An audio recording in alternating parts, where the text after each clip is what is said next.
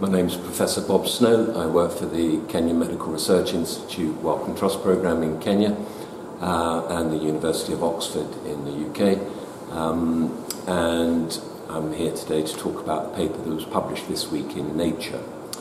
Um, the work is represented, uh, represents 21 years of research effort, uh, which began in 1996 and focuses on the malaria parasite prevalence rate, and that's a, a measure of the quantity of malaria, often done through surveys of communities um, to work out how many people have the parasite in their blood. Now, this is a good indicator of the amount of malaria in any given area because it's really, really hard to measure how many people die of malaria or how many people get sick of malaria in Africa largely because they share symptoms and signs with many other causes. But actually knowing whether or not you have the parasite in your blood is pretty unambiguous. So we've focused on trying to find survey data that span over 100 years in Africa, bearing in mind that these surveys were first done in the early 1900s um, by um, researchers working in Sierra Leone, working in Ghana, working in Nigeria, and working in other areas of Africa. Um, and it's been a, a, huge effort. I mean, largely we've had to go to archives across the continent, some of them incredibly dusty and dirty. Uh, we've had to dig down into sort of the uh, Ministry of Health's um, basements, pull out boxes that are covered in wood lice and rat droppings to salvage some of these really old survey data. And it's been a, um, a fantastic experience, to be honest. It's been a bit like sort of it's the Indiana Jones side of my job, um, trying to find and track down these survey data. Uh, we've had some fantastic experiences uh, finding people who've retired from malaria, working in southern Africa, um, identified where they live, go to their houses, um, spend a couple of days with them in their garage, finding all the survey records from Botswana and Namibia in the 1950s and 1960s. We've uh, been to libraries and archives of the old eradication programs in Senegal, Ghana, Nigeria, Uganda, Tanzania, Sudan. Some of these have been great successes, and we've been you know, little joys finding treasures of original survey data. For example, in Uganda, we found the original survey uh, records, cards with everybody's name, village, and so on. How many, uh, when were they, uh, had their blood uh, sample taken, the results of microscopy in Entebbe. We were told that the eradication program did surveys in 1965 and 1967, and those records were housed in Jinja, not in Entebbe. We found the man who had the key to the old store um, we tracked him down. Took, him, took us about two days to find him, about another day to find the key, only to discover that they weren't there and they'd been moved to another part of the hospital in Jinja. It took us another two days to find that person with that key. We get there, we open the door, and there's nothing there. And then he points out to us that two years beforehand, they were in fact all burnt just to make space. So part of this project is being to preserve these original records and find them before they do, in fact, completely disappear. Um, other examples, like I say, are in Sudan, where we tried desperately to find all the survey data done in the big surveys in the early 60s by the Wernsdorfer brothers, where they sampled thousands of villages across um, Sudan, combined Sudan in those days, north and south. Um, but only to discover, having tried for weeks in all the possible locations, that they're probably somewhere in Europe. So there's an example, a bit like the Elgin marbles, that they, they are original survey data that were done, but we just can't track them down. So it's been a, it's been a long effort, and of course, it's been helped hugely by the very, very large number of malaria scientists working today across the continent. Over 900 malariologists um, working in the whole of Africa actually has have been incredibly generous and shared their data with us. Um, this is raw data. It's often published, but in an aggregate form, and they've disaggregated it by village to share with us as part of our project. Once we've got access to this original material or published material, we then extract from that uh, report where the village is, and this takes a, a lot of effort actually because names change over time, and we have to provide a precise longitude and latitude for each of the villages, how many people were surveyed, the month and year of the survey, and how many were positive for Plasmodium falciparum, which is the main parasite that causes the majority of disease in Africa. Um, this then goes into a, a large database, and we attach to that every single PDF, sort of electronic digital copy of the original materials. Now, these have now been archived and we've shared them with the World Health Organization's Global Malaria Program recently, so in fact, there is a legacy of these data and there is an institutionally legitimate partner to house them, so they are now with the WHO in Geneva. So once we have all the data, of course, the, and it took 21 years to assemble it all, um, you need to try and understand what does it mean. So our main objective for a very long time now has been what has been the long-term history of malaria in Africa. Many people who have published lots of work recently have focused on only 2000 to 2015, and many of them have shown that malaria has indeed dropped. But actually, that doesn't give us that lens of what did happen before 2000 what did malaria look like in Africa before then? So this big assembly of 115 years worth of data now has over 50,000 survey points geolocated and nearly 30,000 villages gives us a unique opportunity to try and understand what has happened over 100 years. And to do this, we didn't want to sort of over-model it. I mean, one of the uh, sort of temptations is to sort of create very, very complicated models um, which include lots of layers of information on how climate's changed, how interventions changed, and you build it all together and you try and use those what they called covariates to predict what malaria is in any given location. Rather than do that, we've decided to actually just let the data themselves tell the story. So we haven't used any covariates, rather what we've done is take each of the individual survey points and displayed them over 520 administrative units across Africa. And these are largely administrative units, quite large ones, um, and Madagascar, Madagascar being the largest of the offshore islands. We haven't included the other smaller islands, so it's just mainland sub-Saharan Africa and Madagascar, divided into 520 units. And then we've tried a, a simple statistical model which smooths the data in space and in time, borrowing information from each of the points in each of those administrative areas to give us a prediction of malaria based on the data in each of those units for one of 16 time points, starting in 1900, ending in sort of 2010, 2015. So we've segmented time and we've segmented space and then we summarize all that data just by having the median estimate for the whole of Africa and Madagascar over those 16 time periods.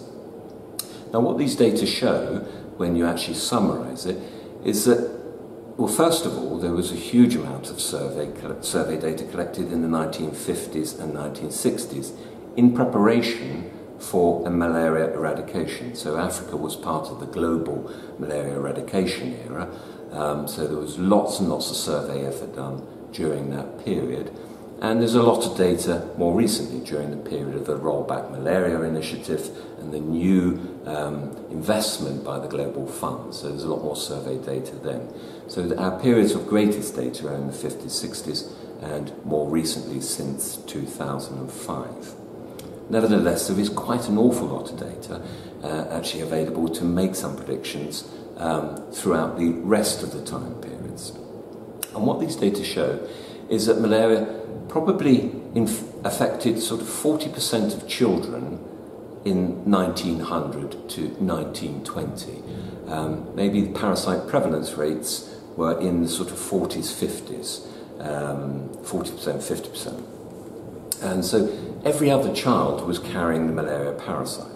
Now, over time, that has dropped it's dropped quite considerably, actually, to about 24%. So it's gone from 40% to today, 2010 2015, to about 24%. And that's a significant drop. But that actually doesn't tell the whole story. Because if you look at the data, there have been troughs and there have been peaks. And these peaks probably explained by a coincidence of excessive rainfall, the worst El Nino rainfall that hit Africa happened in the 1990s, late 1990s, and the emergence of chloroquine resistance. So you had these congruence of two factors which led to the perfect storm. And actually, malaria prevalence rose quite rapidly to a very, very high level in the late 90s, early 2000s. But there was a slightly less easy to explain lull before that. Um, and that lull um, was coincidental with a drought in the Sahara. It's true, no rainfall, no mosquitoes, no mosquitoes, no malaria. So that's kind of how one might understand it. But it was also a period when everybody was taking chloroquine, and chloroquine was an incredibly effective drug, and every single fever was treated with this drug, and therefore parasite prevalence is likely to have been suppressed by, to all intents and purposes, mass drug administration of chloroquine. And of course, that will then lead to that explanation of that massive rise when chloroquine began to fail. There was a big drop before then, and that big drop did coincide with the introduction of new tools for malaria. And in the 19, after the Second World War, that was chloroquine, but it was also DDT used for indoor residual house spraying. So you had these two so-called magic bullets that were, reduced, that were introduced to Africa in the sort of late 40s, early 50s, and began to be used more widely across the continent. And you did see that big drop from the high levels of the 1900s, 1920s, 1930s. And of course, if you now fast forward to the rollback malaria era, we had two other magic bullets. We had insecticide treated bed nets and artemisinin based combination therapy to treat, to replace failing chloroquine and failing sulfadoxine and again, there we saw from about 2005 uh, to 2010 one of the biggest drops that Africa's ever witnessed. So that gives us an understanding of it, but it's, it's not as straightforward as people might imagine. People like to think that linear things are associated with linear, linear rises are associated, associated with linear declines. So, for example, there is a, you know, a very large body of research that suggests that global warming has affected malaria. And, um, and it has. I mean, global warming does affect malaria at the margins, does affect the sea surface temperatures in the Pacific. It does actually lead to excessive rainfall. It's not to deny that climate's important, it's just that that linear association between increasing um, land surface temperatures and an increase in malaria can't it be explained by our data on its own nor can that, for that matter, increasing economic development. Africa has witnessed a huge increase in GDP, all, almost all the countries, not universally, but most countries have witnessed a very large increase in GDP. There's been an increasing percentage of girls going to school. There's lots of development things that have happened, but that can't explain that epidemic that we witnessed in the late 90s, early 2000s. So, what this all tells us, of course, is that things are complicated and that doesn't really help donors and it doesn't really help people wanting to project the future of malaria in Africa. But they are complicated. It, it, things can't be explained by interventions alone, they can't be explained by climate alone, they can't be explained by development alone. They are congruence and a, um, composite of all of these things. And that, actually, that is one lesson of this paper, is that we need to understand things in its entirety and don't make too many assumptions. There are some things, though, that we might be able to predict for the future. And the first is that resistance is an absolute um, killer for malaria and the cycles of malaria on the continent. I mean, if drug resistance, de novo artemisinin drug resistance was to hit Africa, if pyrethroid resistance was to escalate to the point where insecticide treated bed nets were no longer effective and we had a sort of another El Nino crisis, I think we will see another epidemic that we saw in the 90s, early 2000s. The other thing, if you look at the mapped distribution of malaria over time, is that there is one thing that sort of jumps out at you. There is a central belt of Africa running from um, below the Gambia, sort of from Guinea-Bissau, all the way through West Africa, Ghana, Nigeria, Burkina Faso, all the way through Central Africa down to the southern part of Mozambique, where in actual fact malaria intensity hasn't changed. The prevalence of P. falciparum um, uh, infection prevalence in the communities that occupy that area hasn't changed as much as it has at the margins. As one probably might expect, the, this is an area that's home to Anopheles gambiae sensu stricto, which is she is the most efficient vector that we know on the planet. Um, but it does beg the question as to whether or not we will achieve global eradication in our lifetimes, which is a quote that is often used because essentially it might be possible to remove those last residual numbers of cases in the Solomon Islands or Saudi Arabia. But focusing your attention on global eradication and elimination at the margins ignores the fact that you have this belt that's remained pretty much the same for 100 years in Africa. That's millions and millions of people who continue to suffer from the disease and for which actually the tools that we have at our disposal now, which is prompt treatment with, uh, effective, with effective medicines, insecticide treated bed nets, some attempts at indoor residual house spraying, aren't enough. So we need new tools.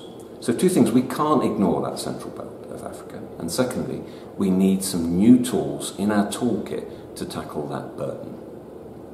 In some ways, I'm, I'm somebody who doesn't necessarily buy into the whole sort of elimination notion for Africa over the next 30 years. I think we sort of need to change the narrative, change the language to the point where bearing in mind that, for a hundred or so years we haven't made that much of a dent in that middle bit, is that one thing that we can probably promise and probably can guarantee is that no child should die of malaria, or nobody should die of malaria. So zero deaths is an achievable ambition over the next 30 to 50 years.